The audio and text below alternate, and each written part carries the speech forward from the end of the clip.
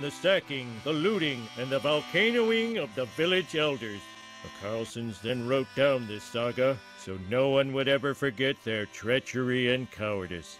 Carl's family was even worse than people thought. They were the original ultimate scumbags. Carl betrayed his friends, blew the lottery money, all for nothing. Hey, guys, I think I feel bad for Carl. Jeg er med Frau by Rahugman. Come to me. Attention everyone in Iceland, we have an important announcement.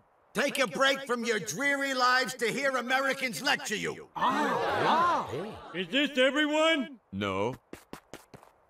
Yes. I've learned something about the people of Iceland. You've endured barbarian invasions, total financial collapse, and a lesbian prime minister. You've managed to survive on a crap hole island that looks like the moon and smells like rotten eggs. And to do that, you have to be stubborn.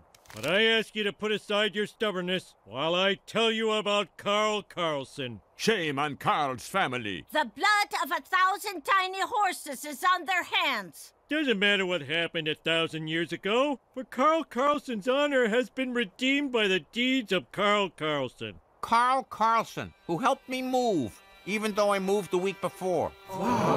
Yeah, and when we were painting my house, Carl Carlson brought that blue tape. You know that makes you really look like you know what you're doing? You peel it off, you got that super straight line there. And when he brings a six pack to my house, he doesn't take the extras home with him. Carl Carlson leaves them in the fridge. Ah! Carl Carlson is our friend, even if he doesn't believe it. If we can forgive Carl for stealing our lottery winnings, maybe yous can find it in yous' hearts to forgive his ancestors. The many small kindnesses of Carl Carlson have redeemed his family forever. Mom, Dad, our family can show our face in public for the first time in a thousand years. Hmm.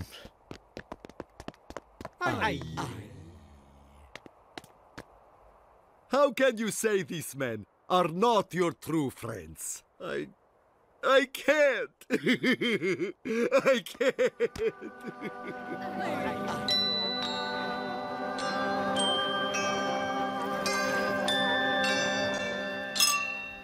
Guys, thanks for teaching me the true meaning of male friendship. The stuff that comes from in here, that is guy stuff. We don't get together to share our emotions. We get together to escape them. Yeah, I tell you guys I love you, but uh, I don't want to say it and you don't want to hear it.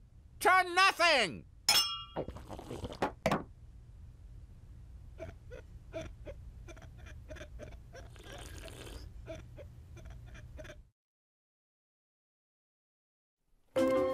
Okay, everyone, get ready to see your brand new What is it? What is it? What is keg pools. Yay!